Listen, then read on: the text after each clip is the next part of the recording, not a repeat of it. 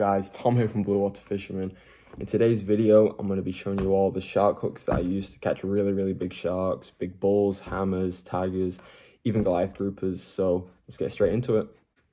All right, so first of all, I'm going to show you the hooks you don't want to use. So the first one is going to be a J hook like this. And you don't want to use this because a lot of the time it's going to gut hook the sharks, which is not good and it's going to be harder to get out and you're not going to have as good of a hookup rate as with using a circle hook.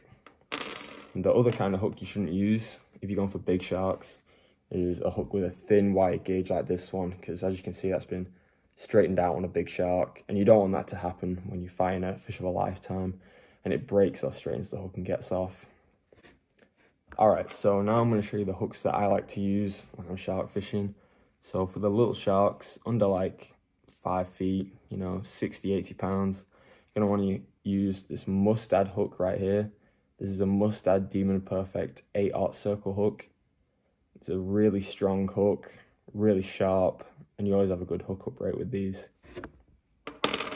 And then for those bigger sharks, you're gonna wanna be using one of these in the six to eight foot range. You want a Mustad Demon Heavy 12 aught.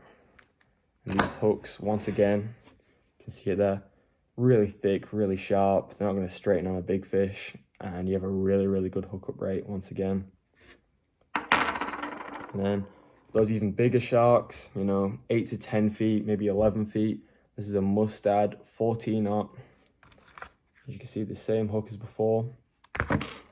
And these are just great hooks, really, really, really strong. And then for the really big sharks, you know, 12 foot plus, big hammers, tigers, even great whites, you're gonna wanna use a hook like this. This is a Mustad 20 aught circle hook. Show you it right here.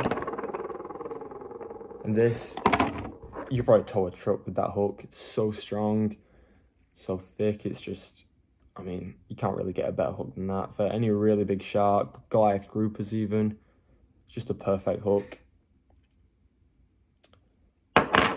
So thanks for watching. Make sure to like and subscribe. And I hope you enjoyed the video.